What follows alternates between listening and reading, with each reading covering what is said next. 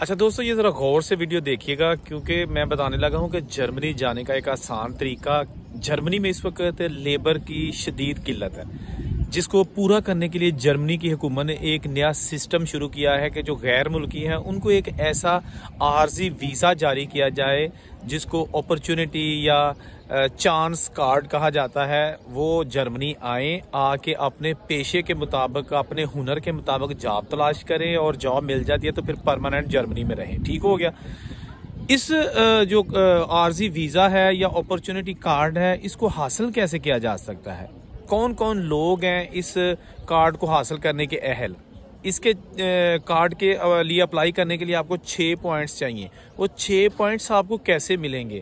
اور یہ کارڈ کہاں سے اپلائی کیا جا سکتا ہے؟ یہ ساری انفارمیشن جلدی جلدی میں آپ کے ساتھ شیئر کر دیتا ہوں۔ اس کے بعد پھر آپ کوشش کیجیے گا، اللہ تعالیٰ ہو سکتا ہے آپ کی سن لے۔ اچھا جرمنی کی حکومت نے ملک کو درپیش ملازمین اور ہنرمند کاریگروں کی کمی کو پورا کرنے کے لیے یکم جون دو ہزار چوبیس سے اپرچونٹی کارڈ یعنی موقع کارڈ کا اجراء شروع کر دیا ہے۔ یہ بالکل تازہ خبر آپ کے ساتھ شیئر کر رہے ہیں۔ اس کے بعد اب غیر ملکی افراد کے لیے جرمنی میں قانونی طور پر کام کرنا قدرے آسان ہو سکتا ہے۔ اس حوالے سے جرمنی کے وزیر داخلہ نینسی فیزر کا کہنا تھا کہ ہم اس بات کو یقینی بنانے کی کوشش کر رہے ہیں تاکہ محنت کش اور ہنرمند افراد جن کی ہماری معیشت کو برسوں سے ضرورت ہے وہ ہمارے ملک میں آئیں اور اپنی خدمات یہاں پر سار انجام دیں۔ اس نئی اسکیم کے تحت غیر ملکی لوگ ایک سال کے لیے جرمنی رہ سکیں گے اور اپنے پیشے کے مطابق جاب تلاش کر سکیں گے۔ جب تک ان کو ان کے پیشے کے مطابق جاب نہیں ملے گی، وہ کوئی بھی جاب پارٹ ٹائم کے طور پر بیس گھنٹے ہفتے میں کر کے اپنی روزی روٹی بھی چلا سکتے ہیں۔ ٹھیک ہے جی؟ اب بتاتے ہیں کہ یہ کارڈ ہے کیا؟ اچھا یہ چانس کارڈ ایک ایسا رہائشی اجازت نامہ ہے جس کے تحت غیر یورپی مزدوروں کو ملازمت کے لیے جرمنی آنے کی اجازت دی جاتی ہے یعنی کہ جن کا تعلق یورپی ممالک سے نہیں ہوتا یعنی جیسے ہمارے ملک ہو گئے، ایشیائی ممالک جو ہیں، ٹھیک ہے جی؟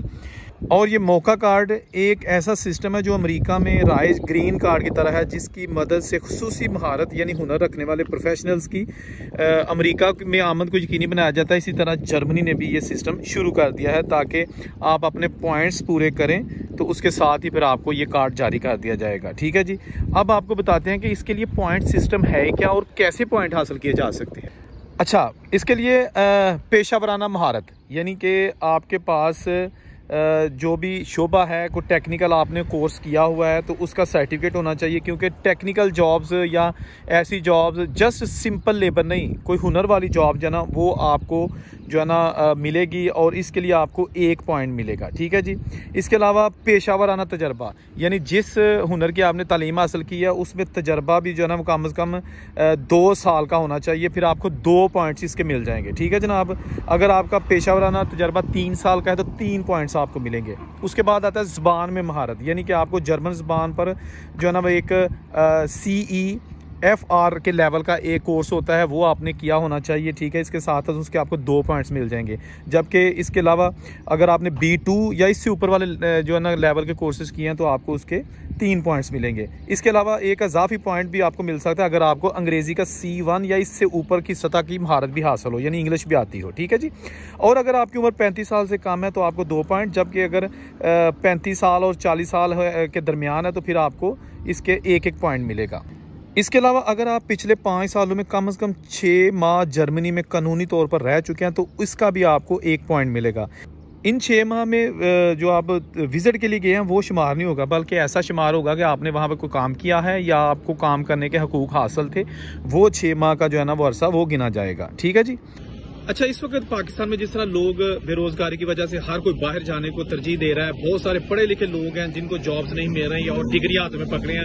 میرا خیال یہ ان لوگوں کے لیے کافی اچھا موقع ہے کہ وہ اپنی ڈگریوں کو استعمال کر کے باہر جا سکتے ہیں، وہاں جا کے کام کر سکتے ہیں، جرمنی میں رہ سکتے ہیں، اپنی فیملی کے ساتھ بھی یہ کارڈ جو ہے نا اپلائی کر سکتے ہیں۔ اگر دونوں میاں بھی پڑھے لکھے ہوئے ہیں تو وہ بھی اکٹھے یہ کارڈ اپلائی کر سکتے ہیں، جس کو چانس کارڈ کہا جاتا ہے۔ یہ بالکل تازہ ترین خبر آپ کے ساتھ شیئر کر رہے ہیں۔ اس کی مزید معلومات اگر آپ ڈبلو ڈبلو ڈبلو جرمنی کی جو ویب سائٹ ہے، اس پہ بھی جائیں گے نا، تو آپ کو اس سے بڑی ڈیٹیل مل جائے گی۔ کوئی تھوڑی سی کوشش کر لیں، میں تو آپ کو ہنٹ بتا سکتا ہوں۔ زیادہ لمبی ویڈیو بناؤں گا تو پھر لوگ تانگ آ جاتے ہیں، لیکن پھر بھی اگر آپ کا کوئی کوشچن ہے تو آپ کمنٹ میں مجھے کر سکتے ہیں۔